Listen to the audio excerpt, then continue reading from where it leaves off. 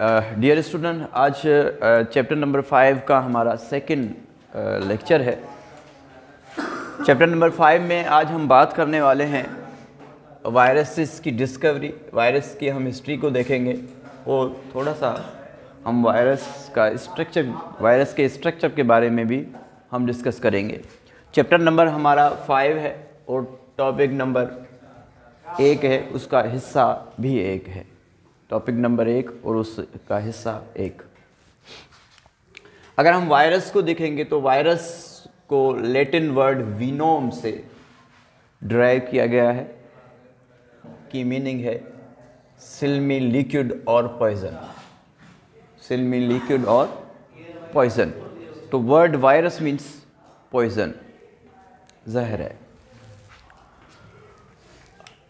अगर हम बात करें पोर्सलिन वाटर फ़िल्टर या इसी पोर्सलिन वाटर फ़िल्टर को चैम्बर पॉस्चर फ़िल्टर भी कहते हैं। ये एक डिवाइस था जिसको डिस्कवर किया था, जिसको बनाया था चार्ल्स चैम्बरलैंड ने इन 1984 में। ये जो चार्ल्स चैम्बरलैंड था, ये असिस्टेंट था लुइस पास्चर का। लुइस पास्चर का ये असिस्टेंट था और इसने एक डिवाइस बनाया था, एक छन्नी की तरह फ़िल्टर डिवाइस बनाया था, जिसका नाम रखा गया पोस्लिन वाटर फ़िल्टर या इसका जो दूसरा नाम है, याद रखिएगा चेम्बर पॉस्चर फ़िल्टर अगर हम इस डिवाइस का यूजेस देखें तो इसको यूज़ किया गया। आइसोलेशन मीन्स अलग करना of micro organism from the some infectious sample कुछ इन्फेक्टियस सैंपल को कलेक्ट करके, उसका फ्लूड बना के उसमें से आइसोलेशन की गई माइक्रो ऑर्गेनिज्म की स्पेशली बैक्टीरिया को, उस इन्फेक्शन जो इन्फेक्शन काज करने वाला जो फ्लूड था, उसमें से अलग किया गया।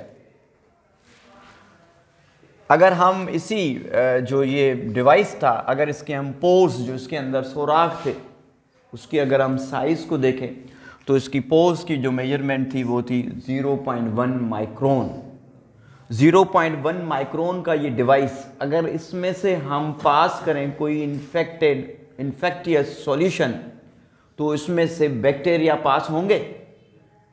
बैक्टीरिया पास होंगे इसमें से? क्यों बैक्टीरिया पास नहीं होंगे? क्योंकि क्योंकि इस, इसके अंदर जो पोर्स हैं उसकी साइज़ क्या है? 0.1 माइक्रोन है। मगर जो बैक्टीरियाज हैं, बैक्टीरियाज मोर देन 0.2 माइक्रोन के हैं तो बैक्टीरिया फ़िल्टर हो जाएँगे, पास नहीं होंगे। बैक्टीरिया फ़िल्टर हो जाएँगे, पास नहीं होंगे। उसके बाद क्योंकि हम बात हिस्ट्री की कर रहे हैं, उसके बाद इन 1992 आपके बुक में शायद इन 1892 लिखा हुआ है, मगर एक्चुअली ये क्या है 1992 है। Dmitri Ivanovsky Ivanovsky Dmitri Ivanovsky एक साइंटिस्ट था, जिसने इसी डिवाइस को पॉसलिन वाटर फ़िल्टर को यूज़ किया, जो कि चैम्बरलैंड ने बनाया था। इसको यूज़ किया एग्जामाइन करने के लिए किसको? Infection, infectious tobacco plant leaf extract को। जो तंबाकू का प्लांट है, टुबेको प्लांट के लीव्स पे इन्फेक्शन लगा हुआ था, उन लीव्स को एक्सट्रैक्ट करके उससे सॉल्यूशन बनाया गया और उसको फ़िल्टर किया गया। डिवाइस यूज़ किया कौन सा? कौन सा device porcelain porcelain water filter जिसको जिसको दूसरा नाम, जिसका नाम है चैम्बर पास्चर फ़िल्टर क्योंकि लुइस पास्चर का ये असिस्टेंट था और इसने ये डिवाइस बनाया था, इसलिए ये रिफ्लेक्शन भी इस डिवाइस को जाता है। तो आगे अगर हम देखेंगे after the removal of bacteria from a filtrate, जब उस जब ये जो तंबाकू लीव्स से जो एक्सट्रैक्ट बनाया गया था और उसको उसको फ़िल्टर करके दोबारा जब स्प्रे किया गया तंबाकू तंबाकू के प्लांट पे, मगर स्टिल जो है, इन्फेक्शन काज हो रहा था, जो फिल्टरेबल था वो स्टिल इन्फेक्शन काज कर रहा था। और जो जो आइवान ऑस्की था, उसने जो कंक्लूजन दिया कि इस पोसलिन डिवाइस को यूज़ किया और फ़िल्टर भी किया, जो फिल्ट्रेट था, मगर वही फिल्ट्रेट दोबारा इन्फेक्शन काज कर रहा था। तो इसका मतलब ये हुआ कि ये बैक्टीरिया तो हो ही नहीं सकते। इन्फेक्शन काज क्योंकि बैक्टीरिया तो फ़िल्टर हो रहे थे, मगर ये बैक्टीरिया काज नहीं हो सकते, ये कुछ और है। तो उस डिज़ीज़ का नाम रखा गया ट्रोबेगो मोजेक डिज़ीज़ क्या नाम रखा गया? टुबेको मोजेक डिज़ीज़ नाम रखा गया टुबेको मोजेक डिज़ीज़ आगे हम हिस्ट्री को बढ़ाते हैं। मार्टिनियस बेरेनिक मार्टिनियस बेरेनिक एक साइंटिस्ट था इन 1899 में। इसने इन्वेस्टिगेशन किया किसको जो डिज़ीज़ दी थी, किसने? आइवान ऑस्की ने। आइवान ऑस्की ने कहा था कि ये जो फिल्ट्रेट है, ये बैक्टीरिया नहीं है, कोई और डिज़ीज़ काज कर रहा है। इसी के ऊपर इन्वेस्टिगेशन की गई। टोबैको मोजेक डिज़ीज़ के ऊपर इन्वेस्टिगेशन की गई और इसने रिपोर्ट किया कि जो पैथोजेनिक एजेंट हैं, जो कि रेस्पॉन्सिबल हैं किसके लिए? इस डिज़ीज़ के लिए, जिनको कंटाजिनस लिविंग फ्लूड कहा गया। और ये जो फ्लूड है, इसको आगे चल के इसका नाम दिया गया। ये जो फ्लूड था, जो कि जो कि इन्फेक्शन काज कर रहा था जो कि फिल्टरेबल फिल्टरेबल फिल्टरेबल एजेंट्स थे। क्या थे?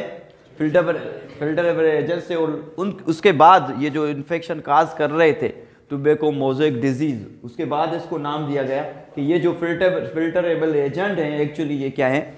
ये वायरस हैं। ये क्या हैं? ये वायरस है। और वायरस की मीनिंग है क्या? पॉइजन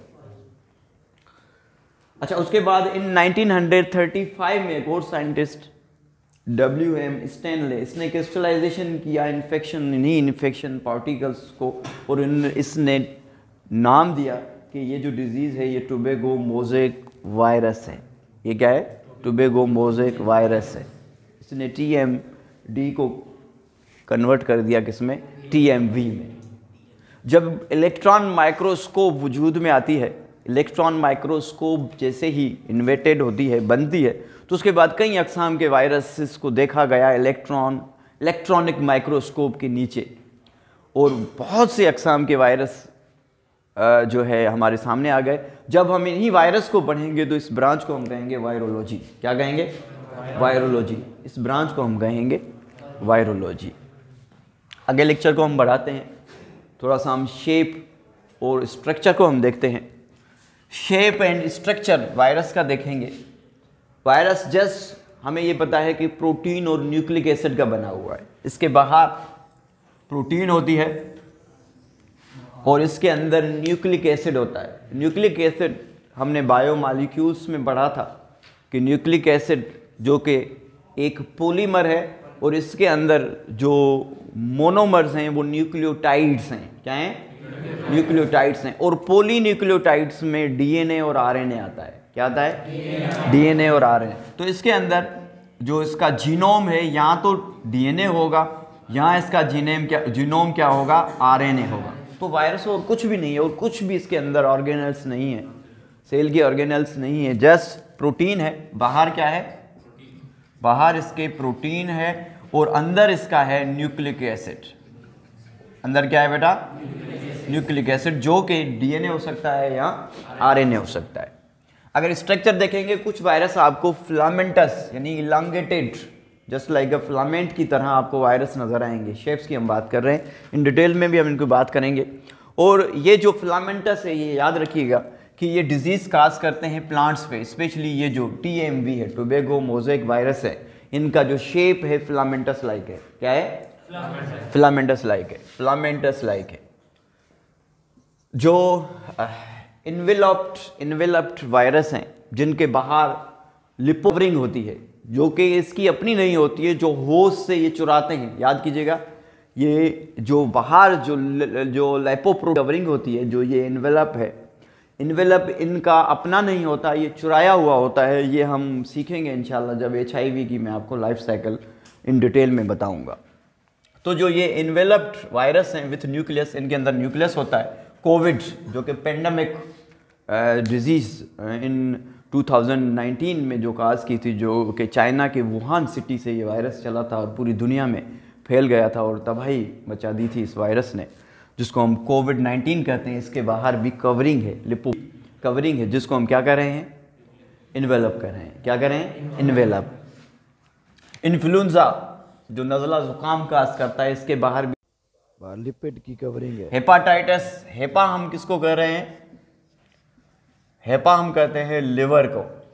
और जहाँ पे आई टी एस आ जाए इसका मतलब है इन्फ्ला इन्फ्लेमेशन मीन्स सोजिश लिवर की सोजिश हेपाटाइटिस बी है और हेपाटाइटिस सी है जैसे हेपाटाइटिस ए भी है बी भी है सी भी है डी भी है और ई भी है और एबुला वायरस है अच्छा दूसरा तीसरा जो शेप है वो है नॉन इन्वेलप्ड वायरस मीन्स इनके बाहर लिपिड की नहीं नहीं है do not contain lipo lipid sorry lipid की कवरिंग लिपिड की कवरिंग इनके बाहर नहीं है।